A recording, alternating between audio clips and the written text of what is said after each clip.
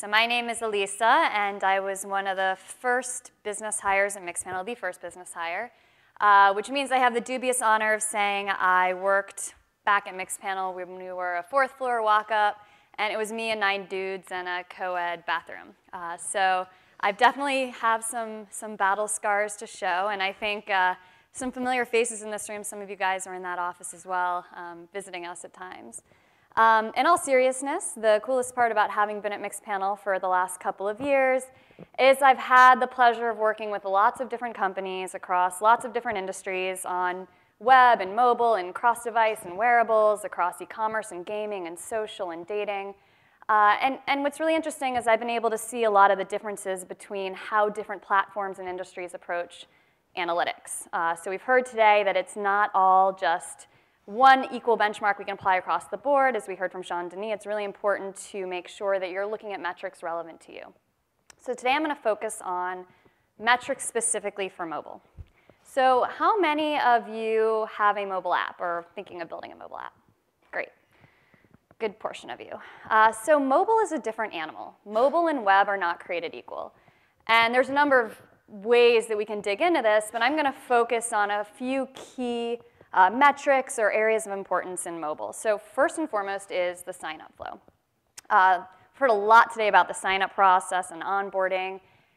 In mobile, the sign-up process is your landing page. It is the first experience a user has. And we'll kind of dig into that and what best, best practices around that are.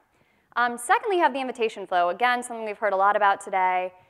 The invitation process is really difficult on mobile. We have the, the, the opaque walls of the App Store. So we'll talk a little bit about that. Uh, talk about A-B testing. I've heard a lot about A-B testing. Um, so hopefully not beating a dead horse on that one, but a little bit around A-B testing on mobile. And then finally, again, a, reten- a metric you've heard a lot today is retention and, and how and why retention, retention is different on mobile. So it, it turns out it's more important and it's easier to measure, which is great. So first off, let's dig into the sign-up process. So the sign-up process, this, this sign-up page essentially is your welcome page, your landing page in mobile. Um, and it's, it's rather unique. On web, we usually ask people to do a few things. On Pinterest, you might look at a few pins before you're forced to sign up. On mobile, it tends to be the very first experience. And for whatever reason, users have accepted that fact. Uh, and maybe it's when we download an app, we say, well, we're putting this thing on our phone in our pocket. It's on my device. Maybe I'm already giving them access to contact me with push why not give them access to my email address and my name and my gender as well? Uh, who knows why, but people, we definitely see a lower drop-off in sign-up on, on mobile versus web. So this is your first experience, which means A, you got to keep it really simple. Uh, I think earlier we heard the metaphor of this, you know, you're about to go up a mountain, you can't see it, you're behind a cloud. So you're getting users' trust here that you're going to make this a simple, easy process. Um, secondly, it means that it should happen immediately. Why not? Why waste any time doing other things? Just get them to authenticate because you know they will. Um, and then finally, I'm a big proponent of social auth. Uh, and I know this is somewhat controversial. Um, you know, I've certainly heard arguments that, well, if this is your landing page, you're turning over your branding to Facebook. Um, and I, certainly uh, any marketers in this room will probably um, want to own their branding, and, I, and I, that makes total sense. On the other hand, when you use social auth, you get data. Uh, you get gender, you get age, and, and this is sort of a, obviously a fake, uh, a fake app permissioning step, but you might say, uh, we, you know, Facebook requests permission for your gender and your age and your relationship status and your likes and your friends, and people are so used to seeing this that most of the time they just click through, and now you have all that precious data. So what can you do with that? Why does that matter? Well, uh, there's a number of things you can do with data. First of all, you can target your users. Uh, seems like a no-brainer. But if you can target them based on who they are and their preferences, that gives you a lot of power around bringing users back via email, push, in-app, offers, surveys. You can change the entire in-app experience if you want to. Um, so this is a company called Pixlr. Um, they are a photo editing tool um, owned by Autodesk. And using Facebook Auth, they discovered that 65% of their users, or 60% of their users are female, and 65% are between the ages of 13 and 17. So they said, okay, this is you know interesting demographic. What appeals to these users? And they did a lot of research, and they discovered there's a, a makeup brand called Illamasqua.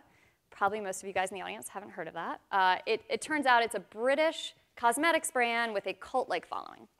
So they decided to run a campaign. And a campaign for them is basically customizing the, the editing tools available and the, and the entire experience, the entire flow. Um, and they customized it. They ran this Illamasqua campaign, and it, it was very successful for them. And it, it, did a couple things. First of all, it generated ad dollars. And secondly, it not only, it didn't bother their users, and I think a lot of us are terrified of putting ads in our, in our app, but uh, it actually made their users feel more connected to the app because it was a brand they really identified with. And this is something that got purely from the Facebook auth data. Uh, I think the quote from the Pixlr guy was, Facebook told us it was true, so it must be true. Um, whether or not you want to believe that is up to you. Um, so, you know, doing the social auth gives you a lot of power over re-engaging your users, getting, that, uh, getting those retention numbers up. So the next step after you have your users signed up is to ask them to send out invites. Uh, and um, how many of you guys use Venmo?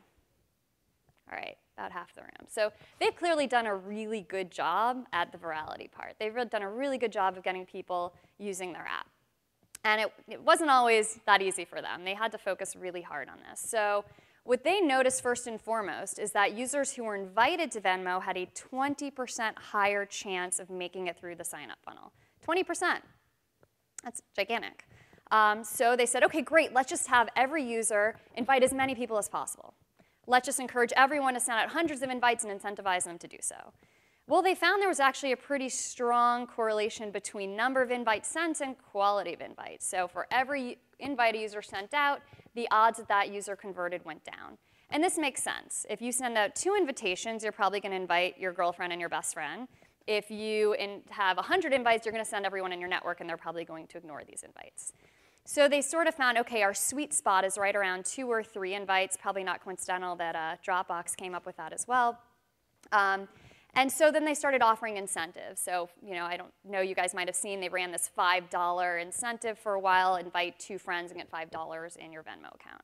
Uh, so they started to, to optimize around that, that golden number of, of two invites. So you guys might be asking, well, you, you send an invite, it's really hard to measure. Um, there are plenty of tools out there to help you measure it. I know uh, the App Store, the iOS Store tries to hide this data from you. You can get around it. There are plenty of tools out there to help you get around this and track the invitation funnel. And you can even customize the entire experience for invited users versus non-invited users. So uh, sticking with the theme of Venmo for another moment, um, something interesting they do, you guys have probably noticed, when you open up Venmo, you get this social proof. You see an activity feed of all the payments your friends are making. Now, using Venmo today, this seems like an obvious, great, cool feature. Back in the day when they first rolled this out, they thought this is going to be really creepy. Um, who wants to see, who wants to show the world their payments? Uh, they thought, you know, there were a lot of people internally at Venmo that thought it was a really terrible idea. Uh, so they decided to split test it. And guess what? It boosted signups by 20%, the golden number at Venmo. Um, so they, uh, they, they ended up deploying this broadly, and now this is the Venmo we know and love. It wouldn't be the same without it. You get that social proof immediately, which we've heard today social proof is, is usually a no-brainer, uh, but around payments, maybe not so much. Um, turned out it worked, and that's something they wouldn't have known if they hadn't split tested it. Um, so A-B testing. Uh, so one of the companies I work with is a bit of an extreme on this. It's called Duolingo. A really interesting company. Essentially what they do is they offer free translation, or sorry, free uh, language learning services, and essentially what their users are doing are translating web copy, and that's how they make money. So really interesting monetization model, and they're extremely data-driven, extremely scientific, and uh, they're typically at any given time running about 13 A-B tests, which does sound like a lot to manage, and, and they maybe take this to an extreme, but running all these A-B tests and really obsessing over retention they've managed to increase their one-day retention. Uh, they've managed to double that. So here's an example of a split test they ran. So um, they have a tutorial. This is part of their sort of onboarding. You pick your language, and let's say, for example, you pick Spanish, and then you have to identify which one of these is um, the man in Spanish. So pretty, not a very difficult test. They had pretty easy softball questions, sort of help you build up your confidence and start learning. Um, so initially, when they ran this, they started, you got three little hearts um, on the upper left. And they noticed people weren't making it through, which really shocked them. Every time you got a question wrong, you lose a heart. And they were stunned to find people were actually failing this test. Um, and I said, well, okay, I guess maybe should we should we get, give another heart. So they added a heart, and they now have four hearts, and they found suddenly their conversion rate skyrocketed. And they're, great, maybe we should add five hearts. Maybe that'll you know, get more people all the way through. So they added five. And it turned out their conversion rate plummeted. And maybe I think people just thought it was too easy at that point. They didn't take it seriously. Who knows? Um, for whatever reason, four hearts seemed to be the sweet spot. So using that split test, they figured out exactly the right number of hearts to get people through that, uh, that tutorial. So a lot of people will say, well, A-B testing is really not for me. You know, we, we prefer to talk directly to our users. We prefer to get that qualitative research, do surveys. And that's great. Um, as Iwi said earlier, uh, you know, sometimes your users don't necessarily know what's best for them, or I think the way she put it is, uh, it's a great way to get hypotheses to test. So talk to your users, get hypotheses, and then test them. Use data to figure out actually what does work and what doesn't, because your users don't always know. So it is hard. It, you know, on mobile, you need to do it server side. You need to do it from your back end. Um, what I can say is there's a lot of uh, disruption in the space. There's a lot of interesting products being built. I think it's a, a, really interesting space to keep your eye on. Someone earlier asked, what is a, you know, non-technical marketer to do? I think we'll see more and more innovation in the space that allows non-technical people to run split tests even on mobile uh, on the fly. So the last thing I want to talk about is retention. And we've heard retention used over and over again today, which actually makes me really happy. Because retention uh, at Mixpanel is uh, sort of our holy grail. Um, you know, we've Jean Denis earlier said, I don't really believe in you know MAU, and that to me is awesome to hear because our, our motto at Mixpanel is you know MAU is a bullshit metric. Um, what you really should focus on is retention, is how many people are coming back again and again and again. Now, Fred Wilson a couple years ago said that the, the, the benchmark for retention is this 30-10-10 rule, which essentially says, you know, 30% of the people that download the app will use it in a given month, 10% of those users will use it daily, and 10% of those users will use it at any given moment. Now that was a couple years ago, and we've come a long way since then. So we were interested to see, well, does this rule still apply? So we ran a bunch of tests across our billions of data points across all different industries, and we were curious to see whether 30% was still the benchmark, uh, and whether or not this varied across industry. Well, it turns out it varies a lot, and 30 really isn't a, sort of a blanket or umbrella number that you can use. So unsurprisingly, messaging, social have really high engagement rates. And this makes sense. Uh, you know, you're getting alerted that you're getting new messaging, you're engaging with people, and then tools, e-commerce, travel, had lower retention rates. Uh, again, you're not booking flights every day, you're not purchasing something every day. So it's, it's somewhat um, intuitive, what was interesting is that we found is that any app that had a social auth had a 6% higher retention rate, uh, which was not obvious to us. So an easy way to make your app stickier and get people coming back over and over again is to add a social layer to it, whether that's social proof, whether that is messaging, whether that is simply social auth and getting data about the users. Um, so lesson here is don't just pick a random number of 30%, figure out for your industry what works. Maybe if you're in dating or messaging or social, you're going to have a much higher bar. The good news is if you're in media, if you're running a news app, your bar is much lower. It also means retention's a lot harder. So uh, some, some more good news about retention on, on mobile is that it's actually really easy to measure because in mobile you have this great concept of an app version, which means you have this very controlled experiment. On web, it's really tricky because you could be running multiple tests at any given time. It's really difficult to break your users into manageable cohorts. Uh, mobile does this automatically. You have your version. So it's really easy to say, well, in version 2.0, you know, to version 2.2, did my retention rates go up? And you have a nicely built-in cohort. Um, so that's at least some good news. Even though retention is really hard and really important, it's really easy to measure and there's no reason not to. Um, so how do you get retention up? What can you do? Uh, sure, it's, it's great to hear me say, here's your benchmark and here's what you have to do, but how do you actually do it? Um, one trick on mobile is that you have push notifications, and these are really powerful. Uh, it's a really easy way to engage with users. So Firefly is an example. They're a, they're a dating app and they found, they, they basically decided to try out push notifications for the first time. And we ran this experiment with them. And basically, they targeted, they, they split their user groups into two. And they said, we're going to just send push notifications to one user group and see if that makes any impact. And we were all really astonished to find that sending push notifications had a 20% increase in getting uh, those users back to the app a day later.